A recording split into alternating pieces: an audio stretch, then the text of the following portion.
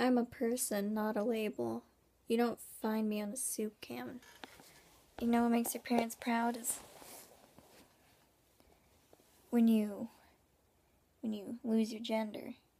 Cuz genders are for for the soup cans. I'm not just some ordinary can being sold at the store. I'm not here to buy. I'm here to change the world. One of my, you know what my dad is? He's one of those dads that wants to, to ram his car into oncoming traffic with me in there.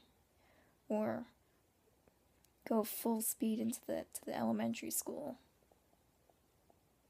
with me in there. Why is he one of those dads? Because he can't accept that that I have life views. I am thinking outside of the box. Genders aren't what we should have these days. We should be accepting of everybody. Look at them as a human and not the soup can store label. I am not to be bought out by your corporate lies.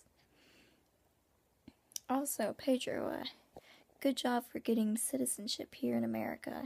Or as uh, Obama has clearly given up on his his duties. I don't even know if. But I'm expecting a few things in turn. My shower is pre- pretty uh pretty boring. So you people are good with showers and uh, housework.